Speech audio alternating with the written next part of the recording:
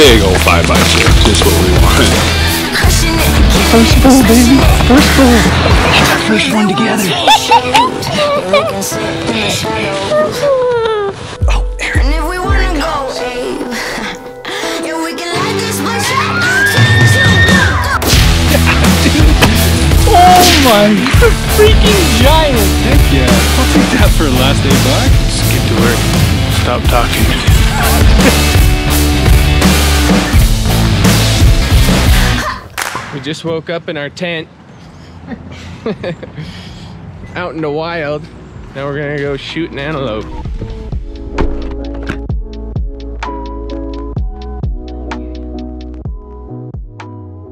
We're in goat country. We're uh, about 50 miles out from the little place we're staying. We're gonna get our stuff together, put our bows together, put our gear together,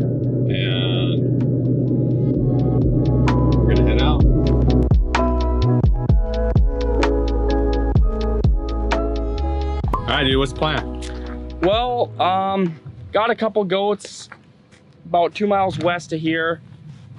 Just gonna kind of play her by ear. Gonna go see. Got a water hole set up, looking pretty good. I've been scouting it for the past two weeks now. Um, there's been multiple goats, around 20 goats coming in there every day. But we're just gonna kind of play her by ear. Maybe go spot and stock, just kind of whatever, see whatever's productive, and you know, finish her out and hopefully get something down. Let's do it.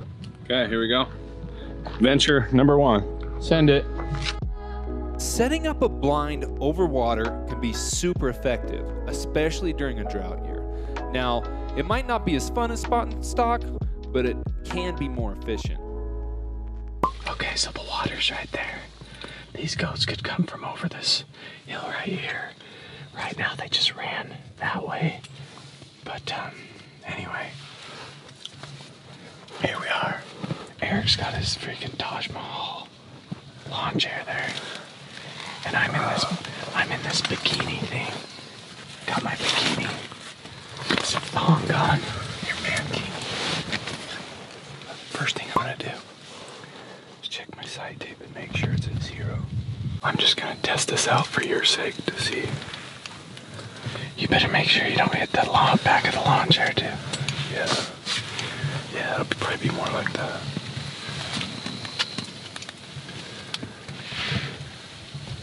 There they all are. Way out there.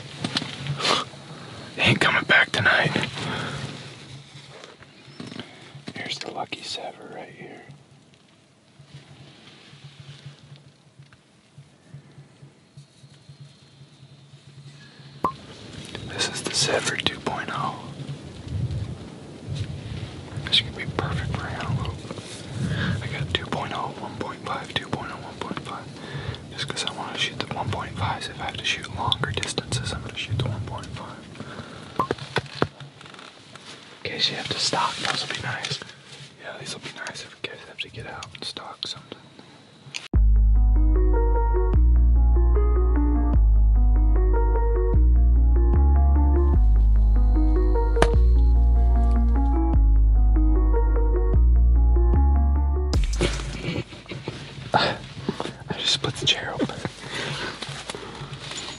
I guess I'm fat now.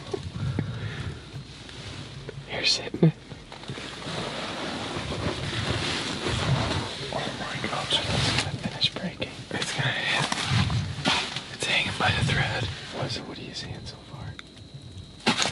Oh, dude.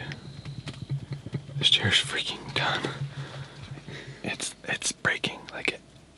You can feel it. Threads are unwinding as I'm sitting here.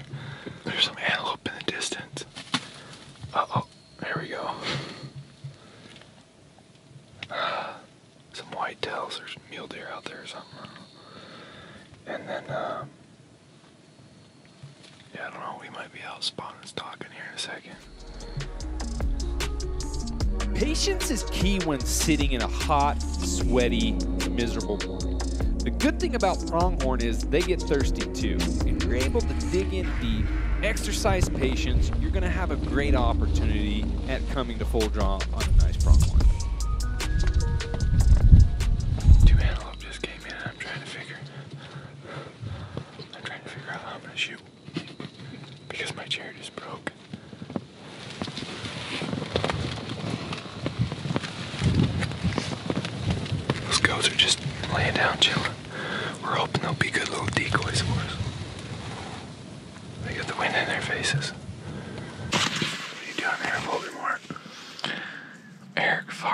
in this freaking hot blind, so it's covering my nose. Probably shouldn't talk right now either. And I'm sitting on the floor because Erik freaking busted the chair. We've been here for almost uh, four hours. Looks like some antelope got on the feet. New antelope came in the picture back here.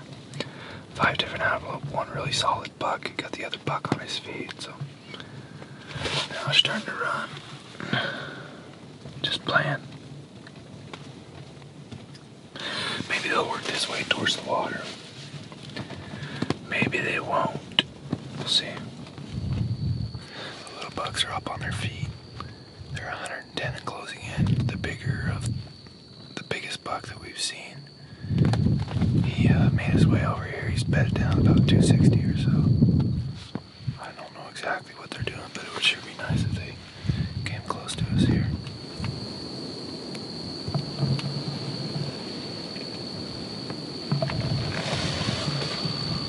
Big buck is still bedded. The little ones are right here. Or right there. Nothing else. Nothing else is acting like it wants any water except for these little dinks. The one in the back is the best, isn't it? Yeah, I think so.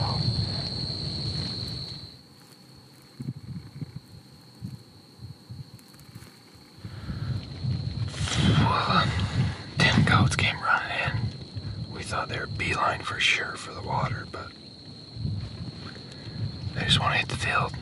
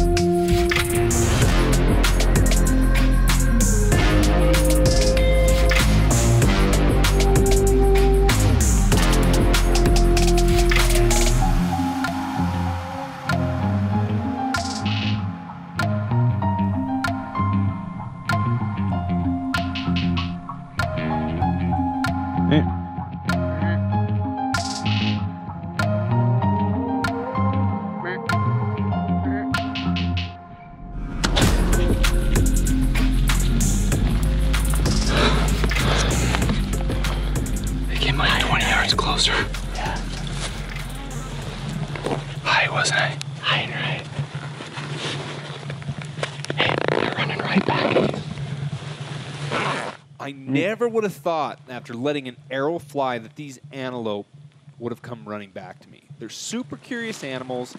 It just goes to show you you never know what they're going to do. Keep that in mind on your next outing.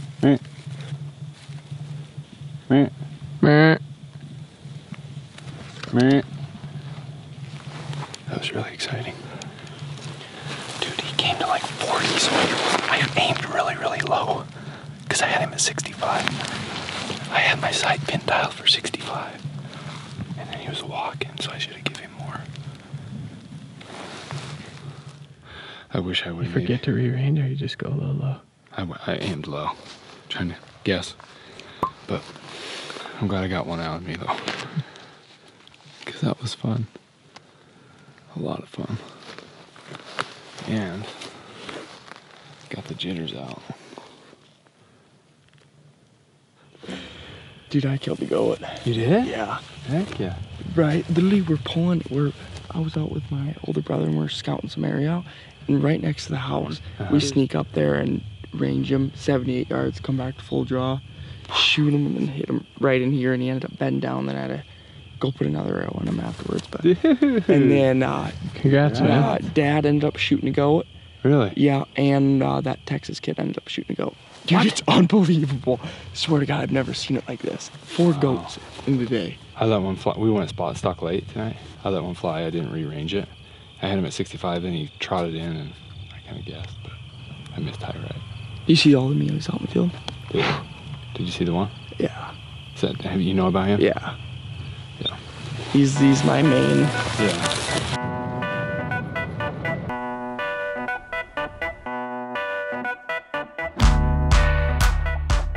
Gonna go south, meet up with his brother. Yep, we're gonna head south today. Um, do a little spot and stalking action. Just try to find some goats in the right place at the right time. Hopefully get something killed. Oh, we'll get something killed. Apparently, I'm crazy for passing some of those goats yesterday. I didn't know, but I won't be picky today. Good thing I wasn't in the blind. You'd have made me shoot. Oh, I would have totally. I would Well, you, you passed the big one and you shot at the small one yesterday. Because I was spotting stock and it's fun. I love spotting stock. I'm the same way, but hey, if there's something blind, Yeah, yeah. First day. you gotta do what you gotta do. Gotta do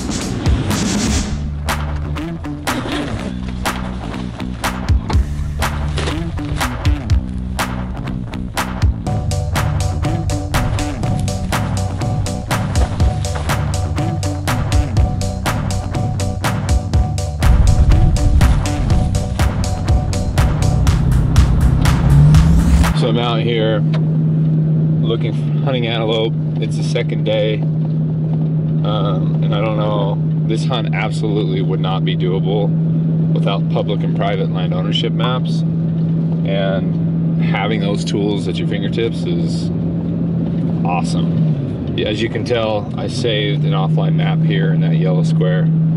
So all I have to do is hit go offline and sure enough all these maps will populate as well as it'll tell me exactly where I'm at in reference to the map. So that way I know if I'm close to private if I'm obviously on public gives me land ownership name so I can go knock doors and ask for permission. So especially when you get these checkerboard type areas I mean you have to have a base map. It's like you're not going to be able to find access without Oh, it there's so. uh, probably about 15 goats down the bottom, right up over top of this hill, and you guys are just gonna come right up around this backside and they're hopefully gonna feed because it looks like they're kind of feeding up that hill, and just you know maneuver with the hill.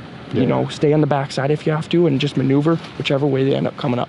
And I think you guys should be close. I mean, Freaking goat right, right there. See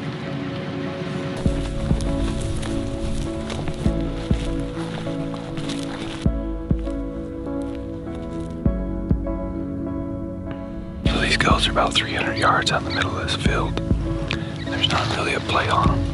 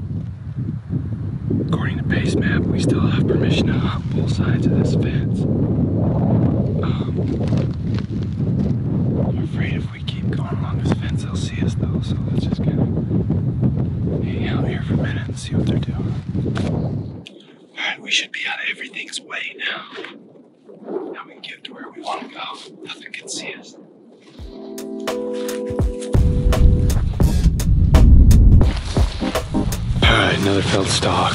Aaron and I did probably a one, two mile loop around there. Um, lots of does. Cut up little draws. There's little draws and nooks and crannies in there that you can't really see without getting in there. But, uh, Buck put the slip us. No idea where he's at. So we're gonna meet up with Connor here. Try another spot.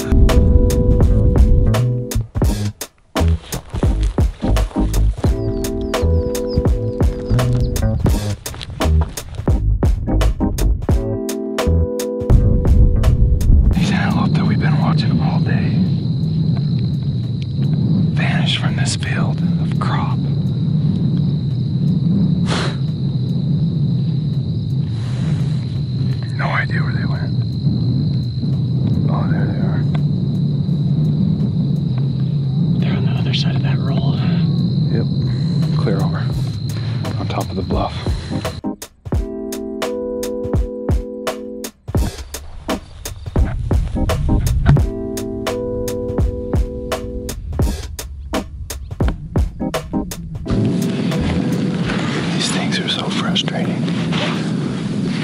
They're like 230 yards on the other side of those trees. Wind's burping. I don't know if they're just antelope being antelope or if we spooked. I don't think they're spooked.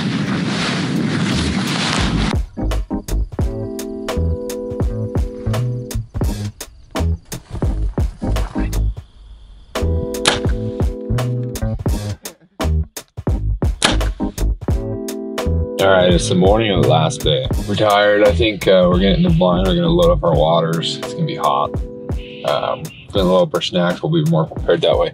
And we have some uh, better chairs this time. Okay, we're gonna go with water today because we feel like that maximizes our opportunity with it being the last day. Field we're hunting doesn't have a lot of pressure, so we feel like it should be pretty good for sit this water.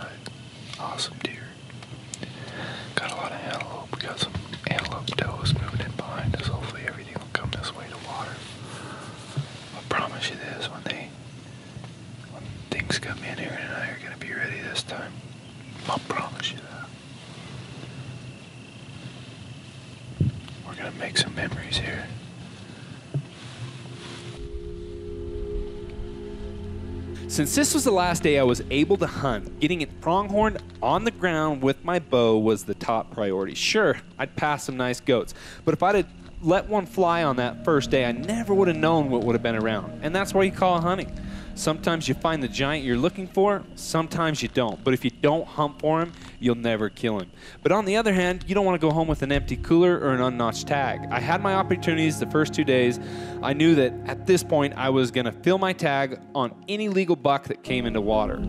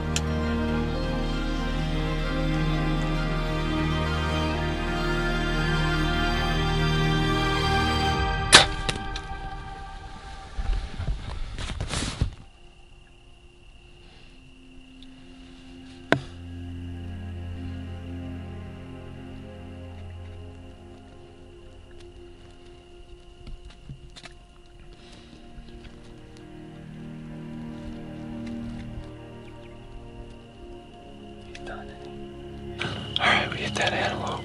He came in and circled the water. I thought he was gonna go away, He went out to 40 and he came back again, came downwind, and came back into the water. Man, that's exciting. He's gonna be a great meat buck. My first buck with an antelope buck with a bow.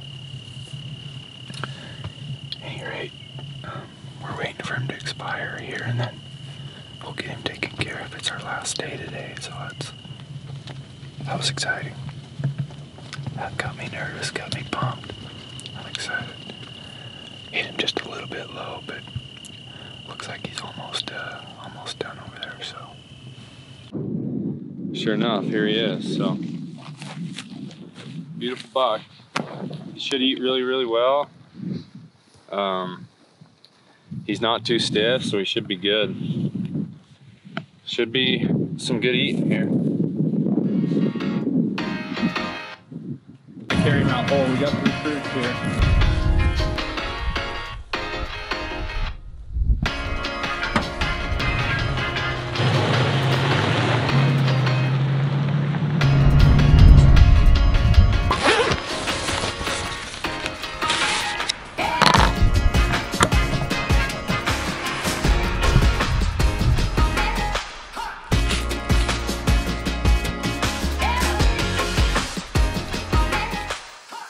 Right, guys, thanks for watching episode one of our Send It series. We're doing a special Easton Focus giveaway, which includes a dozen Easton arrows, any spine of your choice, six SEVR broadheads, any model, and one workhorse bow case. To enter, all you need to do is like this video, subscribe to the Muley Freak channel, and leave a comment on your favorite part of the video. We will announce the winner on Instagram and Snapchat in the following weeks, so be sure to follow us, stay up to date on all the giveaways. Also, if you want more details on this hunt, go to the podcast where we uncover behind the scenes, go into more depth about the hunt, some of the things that happened that we didn't cover on the episode itself, and check it out and subscribe to the podcast. Thanks for watching, guys. Catch you on the next one.